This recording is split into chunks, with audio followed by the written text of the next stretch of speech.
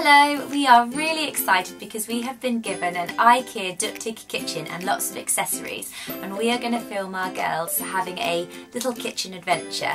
IKEA believe that children are the most important people in the world and that home is their most important playground. So we're really excited to film their reactions to seeing the kitchen for the first time. what are you going to No, she she's supposed to say rice with burritos and sandwich. You're going to cook sandwiches? No, rice with burritos and sandwich. Rice with burritos and sandwiches? Lovely. No, first we need to put the fish in. Cheese in the microwave. Yeah. Good girl. Put it in here. Put it in there and what's it going to do? Um, it's going to melt. Give it a to do. chop, chop, Oh. chop. So you're dicing the carrot. And we need to put the lemon in the microwave. You we need to put the bread in there. What's the parsnip, please? I'm pretty sure that's a leek.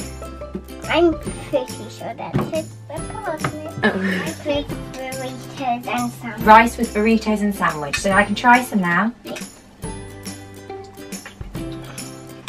That's absolutely delicious. What is your favourite thing about your new kitchen?